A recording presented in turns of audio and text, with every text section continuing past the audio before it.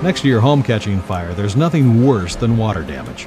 Everything is soaked and nasty, and you just know it's only a matter of time before mold starts to grow. So you gotta get down to drying the whole mess out and replacing what you can't salvage right away. And that's a big chore.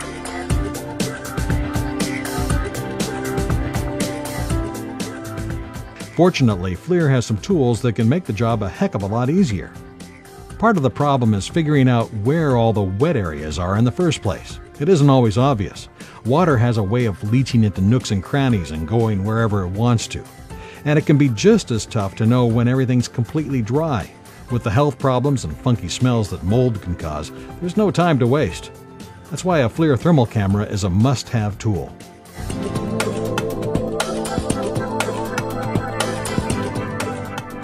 Wet areas are typically cooler than dry ones, and the camera instantly senses those small temperature differences, turning what it detects into images that show you right where the moisture is. In fact, you can see those cooler and warmer spots on walls, ceilings, and carpet right up to when the last bit of moisture evaporates, so you can even catch areas that are barely damp. A moisture meter is also helpful to confirm what you're dealing with, because sometimes something that looks cold could just be missing insulation or drafty air infiltration. Some of these meters, like Extech MO297, have a meterlink function that sends and stores humidity readings right to the FLIR camera. Nice for reports. The faster you find the wet areas, the quicker and easier it is to get the extraction process going.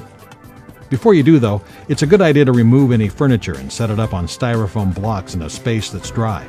Check out the furniture while you're at it to make sure it didn't get wet too. Now, fire up the extraction machine. Pull as much water out of the carpet as possible. Next, time for the carpet blower. This will help get some air moving and dry out the flooring. You'll also need a heavy duty dehumidifier. All this equipment is available at most tool rental stores.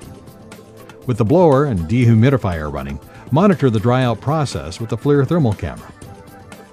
In this time lapse video, you can really see how well the drying process is going.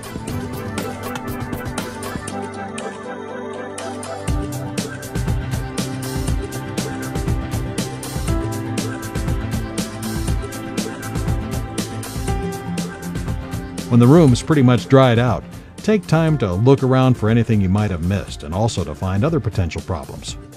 For example, in this area, you can see the studs in the wall. These dark points here are actually drywall screws.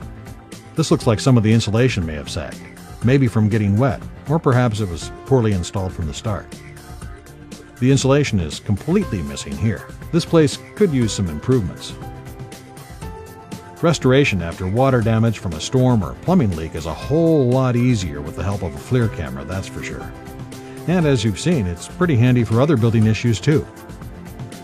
It's amazing the problems you can uncover and what you can show, especially when you can see the invisible. That's what a FLIR thermal imaging camera does for you. Simply put, it helps you find and fix things faster and lets you and others know for certain when the job's done.